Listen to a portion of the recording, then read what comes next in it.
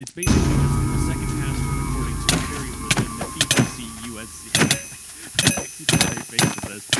It's a second password, okay? And maybe I'm just one of the best hackers on the planet, so I can enter in the best password on the planet, BTC USA 365. Maybe this guy is more of a moron than we think. All right, maybe I can't get lucky. And uh, I also realize I'm supposed to add my actual Bitcoin account in my wallet because now what I'm doing I'm trying to withdraw to this dude's wallet. I can't have that. I want this money, so I'm gonna go back to my account, of course, and I need to add a wallet. And uh, before I even go any further, there's the trade key